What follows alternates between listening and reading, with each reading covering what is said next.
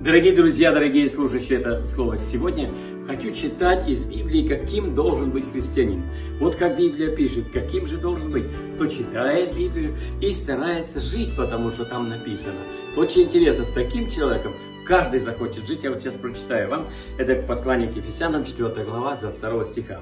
Посему, отвергнув ложь, говорите истину каждый ближнему своему, потому что мы члены друг другу. Гневаясь, не согрешайте. Солнце да не зайдет во гневе вашем, и не давайте место дьяволу. Кто крал, впредь не кради, а лучше трудись, делая своими руками полезное, чтобы было из чего уделять нуждающемуся. Никакое гнилое слово да не исходит из уст ваших, а только доброе, для назидания, вере, дабы оно доставляло благодать слушающим. И не оскорбляйте Святого Духа Божия, которым вы запечатлены в день искупления. Всякое раздражение, и ярость, и крик, и гнев, и злоречие со всякой злобой да будут удалены от вас. Но будьте друг от другу добры, сострадательны, прощайте друг друга, как и Бог во Христе простил вас. Правда, вот когда читаешь этот перечень этих всех качеств, добрых качеств человеке, то тогда вот хочется быть христианином. И хочется жить только с христианами, потому что они вот такие, как здесь написано. Они всякую ложь отвергли. Вот вы знаете, иногда неприятно даже вот и с верующими спрашиваешь, как дела у тебя, и ты видишь, что ему плохо, как-то хочется помочь, может помолиться, может, ну не знаю. А он говорит, нормально. Как дела? Нормально. А ты видишь, ему плохо. Ему ненормально, нехорошо. Надо бы, но он привык все время говорить неправду. И вот так интересно, она вкрадывается неправду, неправду. Здесь маленькие вроде бы неправды, и потом это делаются большие неправды. Он говорит, кто, кто крал, впредь не кради. Вот и мне интересно, как люди работают и с финансовым отделом города. Вот нам надо обязательно показывать, сколько ты зарабатываешь. Из этого у тебя финанс, э, отдел берет там какие-то деньги, налог. Да. И вот люди, особенно богатые, они стараются вот как-то сделать так. Так бумаги подогнать, чтобы с них взяли меньше. И да, интересно, вот действительно, настоящая неправда. Они просто воруют у государства иногда. Я думаю, это вот так вот, э, ну, неправильно все.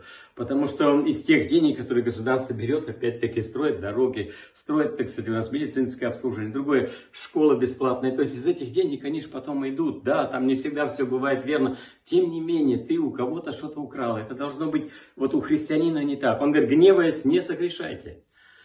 Вот интересно, сказано, что гневаясь, то есть каждый как-то гневается, вот что-то тебе расстраивает тебя, но в этом состоянии не согрешай. Скажи так, чтобы не обидеть другого человека. Но он говорит, и если что-то случилось, ну вот сказал не так, он говорит, солнце да не зайдет в гневе вашем, то есть до вечера попробуй примириться, признаться, что я не так сказал. Не то, что вот солнце уже заходит, а ты вспоминаешь, сегодня вот то и то неправильно, стараешься все это опять сделать, чтобы мирно, тихо можно было лечь спать с Господом в сердце. И что интересно, он говорит, не оскорбляйте Духа Святого, которым вы запечатлены, запечатлены на день искупления. То есть, когда нас Христос принял, когда Он нам все простил, когда мы пришли к Нему, просили, как грешники, прости, Господи, Он нам все прощает. И вот Он потом этим Духом Святым живет в нас. Он говорит, не делай так. Вот ты чувствуешь прямо как очень крепко, это я не могу сделать, а это могу. То есть не делай то, что Дух Святой тебе подсказывает, не делай, потому что этим самым ты оскорбляешь этого Духа Святого. Он говорит также, что всякое раздражение, ярость и гнев, и крик, и злоречие со всякой злобой да будут удалены от вас. Но будьте добры друг к другу, сострадательны, прощайте друг друга, как и Бог во Христе простил вас. Видите, как интересно. Все-все-все важно. И как ты раздражаешься, и какой у тебя тон, и как ты, так сказать, в злобе ли ты говоришь, или ты говоришь все же по-доброму человеку. Интересно, все-все играет роль. И в конце концов, чтобы простить каждого человека, уметь простить, это не всегда бывает легко. Я вспоминаю эту женщину, которая так долго шла к прощению, человеку, который убил ее дочь. Она, так кстати, покаялась и все, но она знала, этому человеку она не может с ним встретиться. Она молилась. И вот интересно, потом, да, Бог дал так, что она когда-то смогла попасть в его камеру.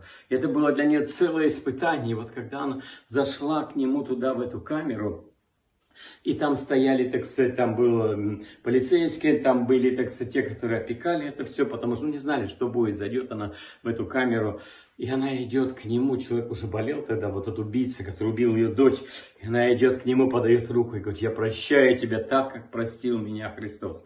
И те люди, которые были здесь, да, вот там было 3-4 человека, они просто, они там заплакали. Никто не мог, так сказать, же все выдержать, потому что простить убийцу твоего ребенка. Но и это возможно. После этого этот человек здесь, он, он насколько, так сказать, э, его это все из тронула, он плакал, он, так сказать, он не мог уже ничего не сделать, но вот так было в жизни. Она простила его. И то, что она простила, это прочувствовали все, которые были в этом помещении. Я сам слышал, как эта женщина рассказывала об этом, и так трогал, мы плакали, потому что это было действительно невозможно. Настоящее прощение, оно трогает человека до глубины души. Если человек простил, то он знает, что он простил, и люди знают, что он меня простил. Поэтому говорит слово «прощайте друг друга». Вот так вот надо жить, да поможет нам Господь жить по Библии. И когда люди будут видеть нас, как мы живем, они скажут, Библия это хорошая книга, она людей учит правильно жить. Пусть Господь вас благословит. Аминь.